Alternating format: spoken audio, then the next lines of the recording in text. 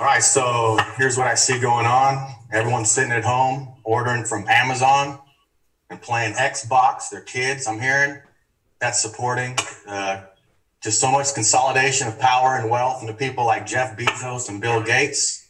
It's not a good sign. And then seeing employers, including my own, violating privacy rights because of concerns about who has coronavirus. I hear in this meeting as well today.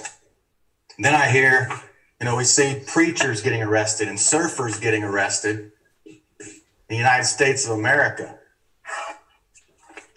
Amazing how fast things can happen. Just last meeting was a couple days before the governor, Newsom, sent his unconstitutional lockdown orders. Trying to warn then. Now there's too many violations of our rights to list here tonight.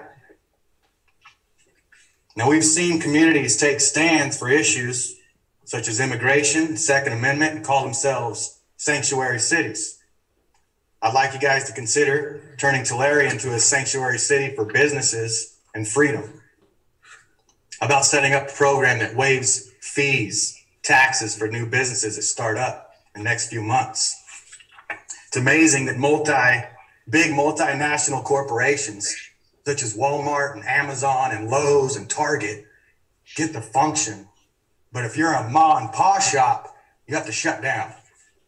Something ain't wrong. Something ain't right here. And so again, I know it's not easy.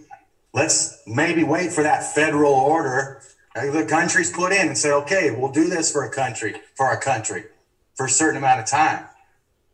But as we see these hints that certain states like California are going to disregard our rights even further and our business rights, I'm very serious. Let's look in.